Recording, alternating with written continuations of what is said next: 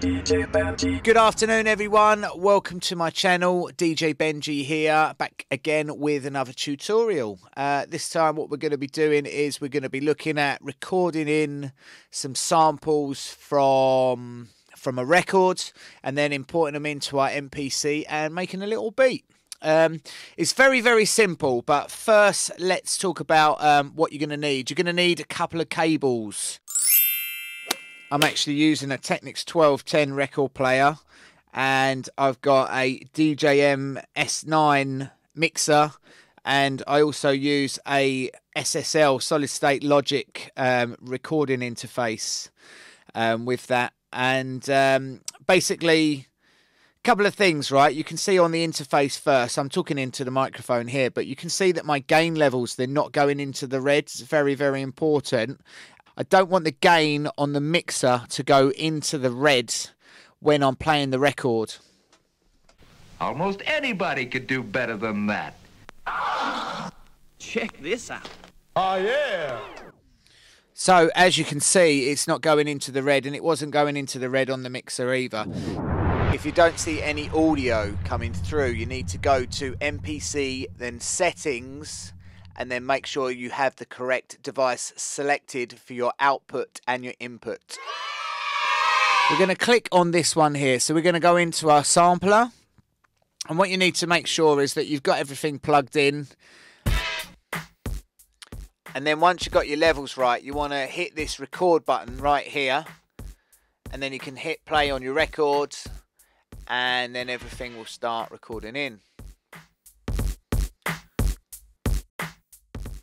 And then once you've got your sample, make sure you hit save. Okay, and we go to our sample edit window. And then we're going to use the cue links or these indicators to um, find the sample that we want. I'm going to zoom in a little bit. Always helps if you've got the zero snap on. Just here, that's it. Then we're going to line those up. And then what we're going to do is hit extract. And then load this in as a new sample. Hit one. Okay, so now we've got a hit one sample. What we can do now is we can create a new track. And then we're going to go click on this one, key group. And then what we're going to do is we're going to go here and then for our key group, we select this one and we are going to select hit one. And then now we're going to hit the record arm.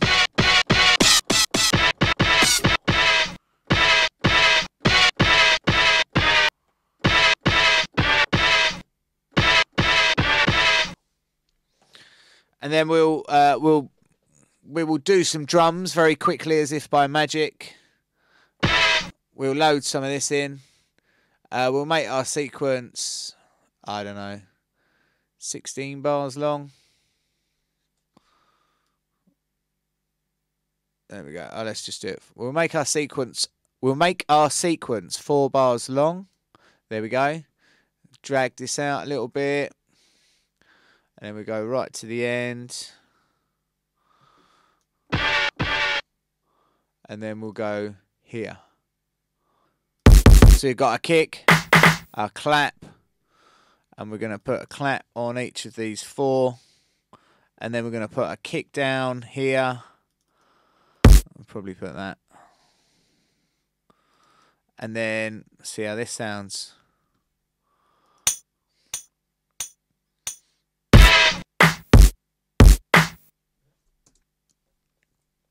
And then we're just going to copy that. And then here, we're just going to put this in. But what we're going to do is, with these, we're going to program different velocities.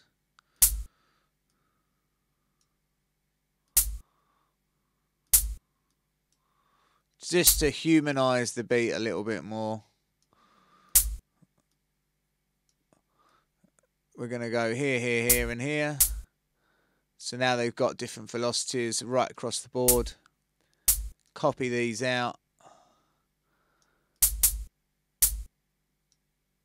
And I think that's what we've got. Now what we're going to do is we're going to highlight all of them. And then what we're going to do is we're going to change our swing slightly. Because that's what gives it the funk. If we go um, here.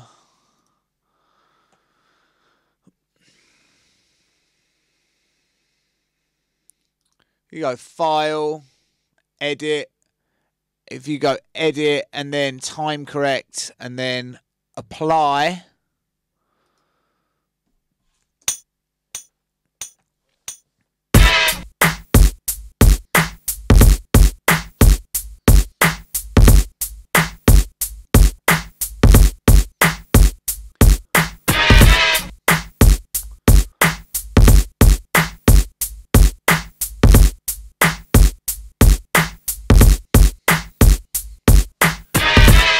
And that is your super dope beat for today. Thank you very much for tuning in, everyone. DJ Benji, we love you. Make sure you like and subscribe to the channel.